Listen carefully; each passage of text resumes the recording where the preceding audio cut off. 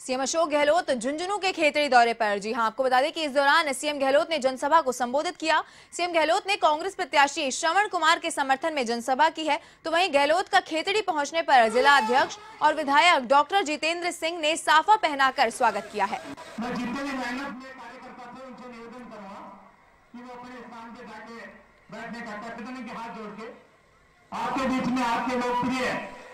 राजस्थान के मुख्यमंत्री, सम्मान्य अशोक दलों के हमारे बीच में पहुँच गए हैं। एक बात लोग के क्या